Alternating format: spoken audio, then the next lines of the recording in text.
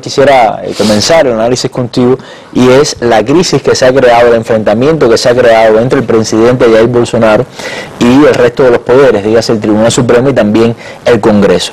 ¿A qué se debe y qué impacto ha tenido? Sí, pero fíjate, esto, antes de entrar directamente a responderte eso, este material es útil, en tanto nos da, digamos que sustratos antecedentes para entender esto otro.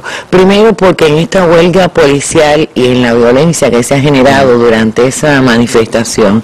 Hemos visto también en boa la manera en que Jair Bolsonaro sigue tratando o sigue enfrentando mm. una violencia social que no es esta de los manifestantes, que es la violencia social acumulada de eh, las eh, diferencias sociales, de la pobreza, de la marginación contra la cual estuvo luchando el PT.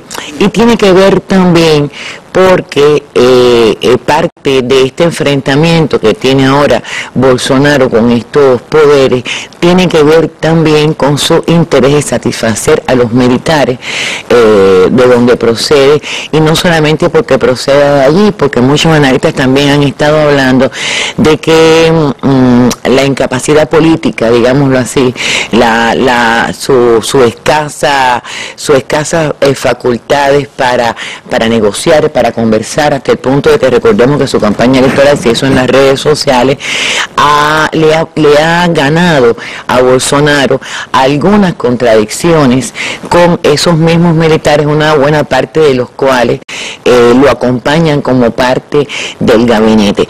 ya concretamente el diferendo con estos poderes viene a cuenta de que Bolsonaro ha hecho un llamado como acostumbra por las redes sociales, eh, parecido, en una actitud parecida a la que eh, mm, sostuvo el presidente de Salvador, Nayib Bukele, cuando apareció ante el Congreso en una escena inédita, inusitada y hasta un poco eh, espeluznante, rodeado de los militares para, para imponer a los legisladores su parecer.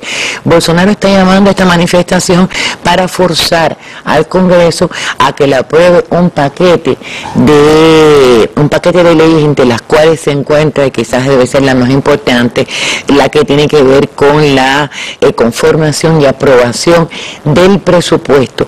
Pero el presidente de Brasil sí ha logrado, y esto me parece, eh, Oliver, eh, que tiene mucho que ver con la manifestación policial y que también eh, puede ser preocupante, ha logrado que se apruebe una, una legislación que eh, salvaguarda a todos los cuerpos del ejército, a la Marina, a la Fuerza Armada, a, la, a, la, policía, de alguna sanción o algún proceso judicial en su enfrentamiento a la violencia, a la delincuencia en Río de Janeiro. Tenemos que acordarnos para entender mejor esto, que desde su llegada al poder, eh, Bolsonaro militarizó el enfrentamiento a la delincuencia en Río de Janeiro, eh, donde, las, donde las favelas, donde la marginación han originado toda esta violencia. Esto eh, tiene más tela donde cortar porque hoy uno de los aspectos que algunos analistas, eh, al que algunos analistas aluden para explicar un alegado eh, ligero aumento de la popularidad de Bolsonaro es que efectivamente Bolsonaro habría logrado disminuir los índices de homicidio. Este mm, eh, corte decía que se hará eh, habían aumentado los homicidios desde que estaba la huelga policial. Em, hay que ver a qué precio se está logrando esto y hay que ver eh, a largo plazo qué puede generar una política de enfrentamiento a la marginalidad mediante la violencia, que en opinión de cualquier sociólogo genera más violencia. Pero lo, eso, es igual que lo que está sucediendo con la economía. O sea, ahí va. Eh, hay crecimiento económico, que hay buenas perspectivas para la inversión, pero todo es eh, en función del desmontaje, de los logros sociales, de la, privatización, incluso de la Amazonía. es decir, que ese, ese, ese balance costo-beneficio se inclina más a, los costos que a los beneficios. Exactamente. Eh, ese es otro de los puntos que se alega para explicar un leve aumento de la popularidad de Bolsonaro, y cuando yo digo aumento no es porque están no es porque florece más que cuando fue electo, es porque había experimentado una caída bastante fuerte, hasta un 30. Hay que ver que también que los sondeos nunca son exactos, ¿eh? que también depende de cada estudio de opinión, pero en general se hablaba de que había caído de un 40 y pico alto, 48, 49, que obtuvo en las elecciones, a un 30 y que ahora habría crecido no sé, 4, 5, algunos dicen que hasta 40% eh, de aceptación. Sin embargo, no son pocos los analistas que remarcan que no obstante se mantiene un índice de desaprobación que está por un 36 o un 38%. Eh, por ciento. Primero, lo que tú dices, totalmente de acuerdo.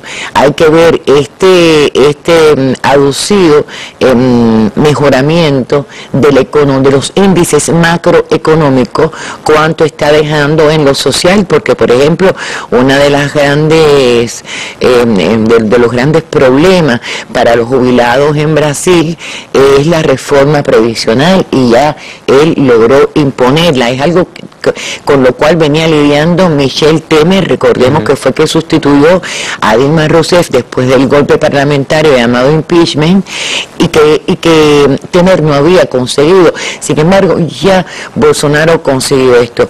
Yo creo que, eh, y, y por supuesto con, este, con ese dinero que se van a ahorrar de pagarle a los pensionados, efectivamente, el ministro de Economía, Pablo Guedes, que es un hombre que se conoce por su formación, en Harvard y por su em, proyección eh, neoliberal, va a continuar las privatizaciones que Bolsonaro está anunciando. Yo creo, Oliver, que a largo plazo esto nos va a dejar ver más inequidades y aunque de momento se está hablando de, una, de ciertas expectativas optimistas por una parte de la población en cuanto a los resultados económicos, que obtendría Bolsonaro, porque esto ahora es incipiente, estas mejorías, se está hablando de un crecimiento que va a haber de un 2%, todavía no hay nada seguro, pero a largo plazo esto va a generar más inequidades.